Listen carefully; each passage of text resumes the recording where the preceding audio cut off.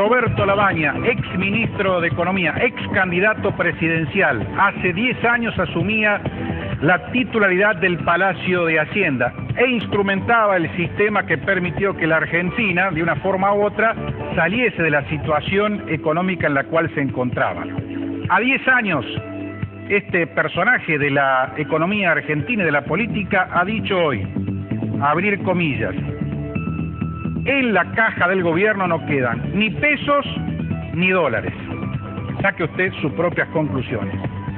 Otro tema que es polémico, el Ministerio de Educación de la Nación está instruyendo a docentes de diferentes estamentos del país para que conjuntamente con el INADI le enseñen a sus alumnos lo que serían las nuevas familias. Con dibujos tienen la obligación en los colegios públicos por ahora, en los religiosos se está pidiendo que se haga, se verá.